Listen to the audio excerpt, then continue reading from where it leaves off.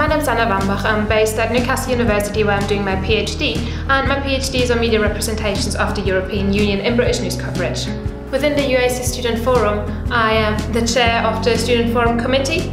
I've been a student member for three years now and last November I was elected to be the chair of the Student Forum.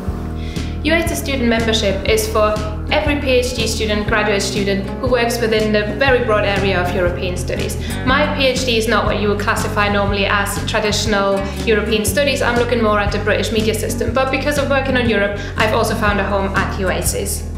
UACES student membership is open to students around the world. We are based in the UK, but everybody can join us wherever you are based. With being a UACES student member, you also get a lot of benefits. For example, you can apply for the UACES Travel Scholarship, which really helps if you've got fieldwork planned abroad but don't have the funding to do so. You can apply for the Small Events Grant and you can be entered into the Best Thesis competition every year.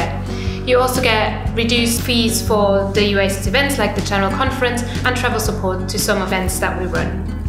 You can also sign up to the Euro Research mailing list, which is a great email list if you want to stay up to date with job offers, scholarships, or events, especially for postgraduate students.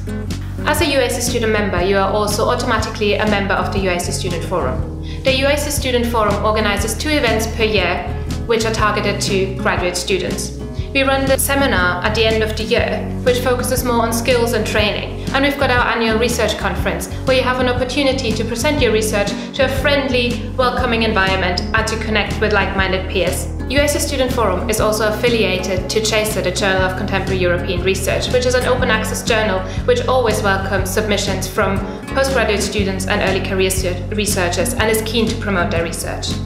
In addition to online resources, that we provide for postgraduate researchers, such as opportunities to practice writing for a blog. Our blog is called Crossroads Europe. We also provide amazing networking opportunities. Really, the uh, Student Forum events are a chance for you to meet not only like-minded peers, but also peers that might be working in your field of study in a few years' time. And it's always good to make a few connections beforehand.